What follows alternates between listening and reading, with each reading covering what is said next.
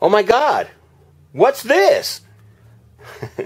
it looks like another Big Lots DVD bargain update. okay, guys, I went to Big Lots and I've got some DVD bargains to show you guys, so let's get started. The fuck off of here. But anyway, the first film is a movie that didn't get much respect upon its initial release. That is Sky Captain and the World of Tomorrow. I saw this in the theater and I don't remember too much about it. And it was only three bucks, guys, so I thought I would get it and check it out. It has Angelina Jolie in it. I hope she's naked. But anyway, three bucks. You can't beat that great price. Okay, right there. The next film is a movie I saw a long time ago. I probably saw this film one time many years ago, but it's a classic and it should be in everybody's collection. Charles Bronson in Death Wish, the original classic film. Three dollars, guys. You got to get this movie, Death Wish. Get it. Okay. The next film, I love the 80s, and it's The Naked Gun. This film I saw in the theater stars Leslie Nielsen was so damn funny. I mean, this was hilarious. Uh, it also includes a CD or a DVD called I Love the 80s. And three bucks, guys.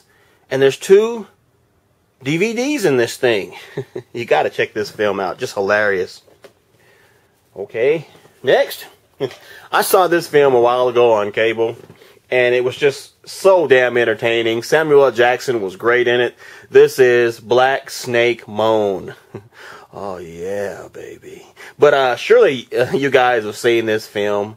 It is so good. I really liked Black Snake Moan.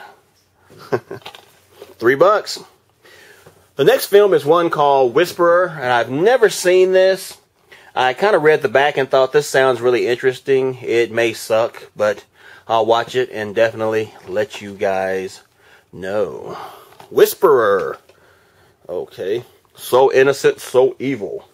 And the next film, guys, I got because I wanted to add it to my collection. I've got one of the other films. This is Pumpkinhead, Ashes to Ashes. And really, I got this film because it had Lance Henriksen in it, and I really like Lance Henriksen. And there's old Pumpkinhead himself. I don't know if this is any good. It's probably eh, so-so, but I wanted it in my collection. Three bucks. This one, guys, is an anime that was a complete series of anime uh, episodes. It had 13 episodes in it, and it was only $3. Now, it's called uh, Moyo-kin I have never seen this. I had never heard of this, but it was the complete series and it was only three bucks.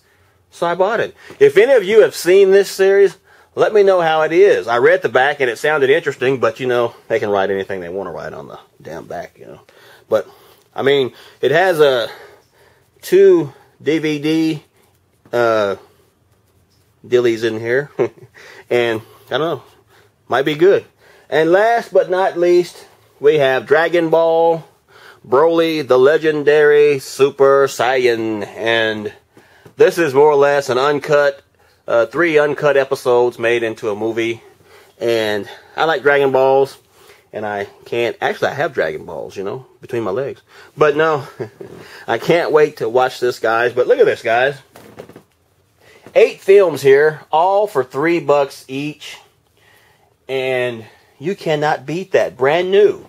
And let me also tell you guys that just because Blu-ray discs are out now, that is no excuse to not buy DVDs. Continue your DVD collection because all Blu-ray is doing to DVD is making them cheaper.